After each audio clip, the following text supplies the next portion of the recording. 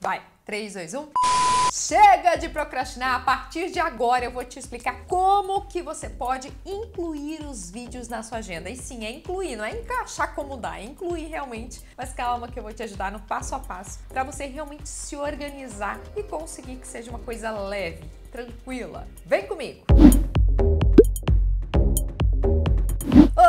Que bom te ter por aqui. Esse é um espaço para profissionais como você que querem compartilhar conhecimento em vídeo na internet. Alô, Clube Mianes, quero vocês nos comentários. Vamos lá, então, vamos colocar os vídeos na nossa agenda. Até porque, gente, eu vejo muitas clientes minhas, muitos seguidores que falam assim: Fran, não tem tempo, não tem tempo para gravar vídeo para internet, não tem tempo para gravar vídeo para YouTube. Calma, que tem sim como você incluir na sua agenda sem surtar, sem pirar o cabeção. Eu vou te explicar a partir de agora. Primeiro, é muito importante que você analise aí na sua agenda quanto tempo você tem disponível. E isso muita gente não tem muito conhecimento, porque vai levando, sabe? Faço isso, faço aquilo, faço aquilo outro, faço aquilo outro, e de repente, pá, acabou meu dia. Então a partir de agora eu quero que realmente você mensure quanto tempo você leva para cada tarefa no seu dia a dia. Então eu quero que você observe qual é o seu tempo disponível durante a semana. Fran, eu não tenho tempo disponível, não adianta, não adianta, não tenho tempo disponível. Roupa, porque o que que acontece? Quem tá acontecendo aí nessa agenda? Tem muitos clientes, que ótimo, quer dizer que está faturando bem. Então, nesse momento, eu te dou duas opções. Ou você abre mão um pouquinho de um cliente ou outro, ou você o que? Aumenta o seu preço de mercado, claro. E através dos seus vídeos na internet, você consegue ganhar essa autoridade, essa relevância para poder precificar do jeitinho que você gosta,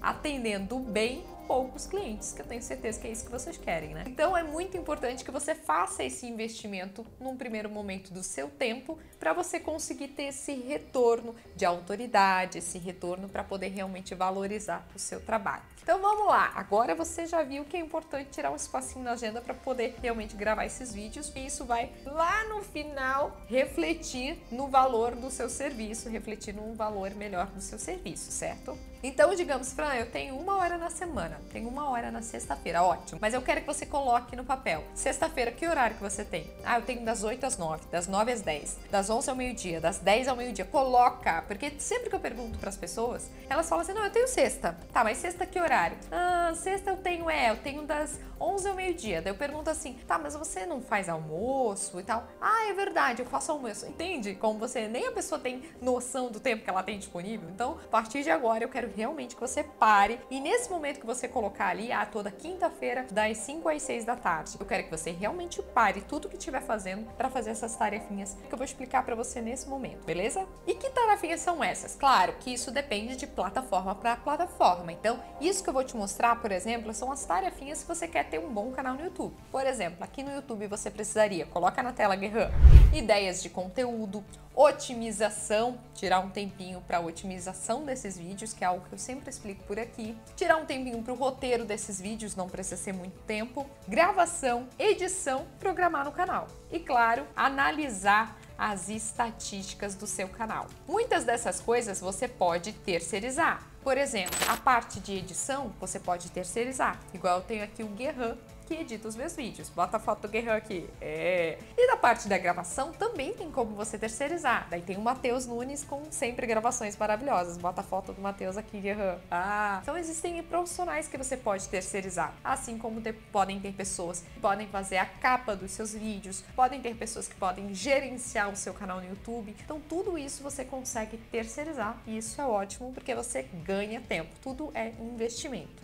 Mas se você estiver pensando aí do outro lado, não, Fran, eu não tô com, no momento, podendo terceirizar. Então você vai fazer o quê? Organizar a sua agenda, que é o que a gente vai fazer agora. Mas antes de organizar a sua agenda, deixa eu te perguntar, qual que é o mínimo viável que você consegue postar de vídeos no seu canal no YouTube? Porque muita gente fala, ai Fran, eu adoraria postar dois vídeos por semana, três vídeos por semana. Mas se você não tem tempo na agenda, começa pelo mínimo. Qual que é o mínimo? Pode ser um vídeo por semana. Só para você ter essa constância, essa frequência é muito importante aqui no YouTube. Então, vai lá, posta um vídeo por semana, que seja um vídeo aqui a cada 15 dias, mas é muito importante que você tenha esse compromisso. Vai ser um vídeo por semana, vai ser um vídeo a cada 15 dias. Tenha esse compromisso e deixe claro isso para sua audiência. Se você for pensar, um vídeo por semana dá quatro, no máximo cinco vídeos ao mês. Então tá ótimo, tá bem tranquilo. Como que você vai organizar então para fazer esses quatro vídeos? Você vai unir as tarefas. Então, por exemplo, para o mês seguinte, eu já tenho aqui as tarefas para você fazer, ok?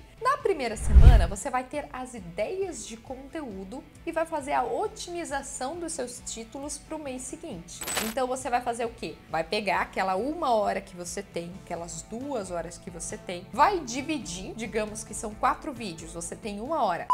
Vai dividir 25 minutos. Opa, não, errei. 15 minutos, eu sou de humanas, não sou de exatas, né? 15 minutos para cada vídeo, acho que vai estar tá certo, né? 15 minutos, né? É, né? 15 mais 15 dá 15, dá uma hora, né? 4 vezes 15 dá uma hora, né? dá, tá tudo certo, obrigada. 15 minutos para cada tarefa se você tiver só uma hora disponível. Então, 15 minutos para cada vídeo. Ah, eu tenho duas horas, já aumento um pouquinho assim por diante, beleza? Mas é muito importante que você bota lá o temporizador. Quanto tempo você tem para cada vídeo, ok? Semana 2 vai ser para roteiro e gravação dos teus vídeos. Essa parte de roteiro também tem uma coisa que eu tenho dourado, que é o quê? Botar no cronômetro. Eu boto literalmente no cronômetro. Pego aqui meu cronômetro e boto lá 10 minutos. Então eu boto 10 minutos aqui, ó, no cronômetro e eu tenho 10 minutos para fazer o roteiro do vídeo. Porque assim a gente deixa de ser muito perfeccionista. Porque às vezes a gente quer muito perfeitinho, muito certinho, muito bonitinho, muito... e a gente perde muito tempo. Tempo que a gente poderia estar investindo em outras coisas. Então, quando você for fazer uma tarefa, se você vê que é muito perfeccionista, coloca isso aqui, ó, temporizador que vai te adiantar. E muito. Deu os 10 minutos, pronto, é o suficiente. Eu já fiz vários vídeos vídeos aqui te explicando como que você pode fazer um bom roteiro e um bom roteiro em pouco tempo. Vou colocar aqui na descrição. Só essa parte da gravação, que daí sim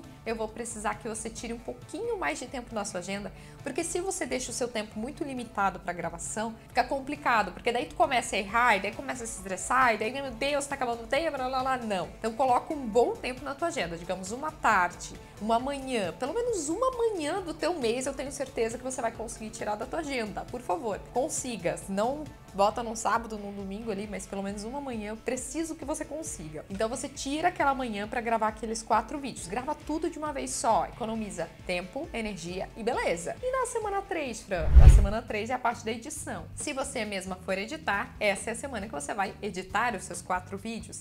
Tem vídeo meu aqui ensinando como que você pode editar um vídeo 10 vezes mais rápido. Eu coloquei aqui o link na descrição para realmente te ajudar e facilitar a tua vida, ok? Mas além disso, se você quiser, você pode terceirizar essa parte, que daí é menos um trabalho para você. E daí você pode pular direto para última semana do mês, que é a semana que você vai programar os teus vídeos, certo? Então você vai programar todos, o bom aqui do YouTube é que tu consegue programar um a um. Eu já fiz um vídeo como que você pode postar os seus vídeos no YouTube do jeito certo. Então vai programar todos para o mês seguinte e pronto. O ideal é sempre que você faça assim, tá? Sempre com pelo menos um mês de antecedência, porque daí no mês seguinte você vai estar tá mais tranquila e assim no mês seguinte mais tranquila, nunca apagando o fogo, porque o grande problema é o apagar o fogo. Porque daí eu apagando fogo, tu fica estressado e de repente você já perde todo o gosto de fazer aquilo, então o ideal é que você faça esse planejamento. Quando você organiza a sua agenda para cada semana ter uma tarefa e coloca horários estipulados realmente, inclui na agenda, não queira só encaixar, sabe? Encaixa como dá.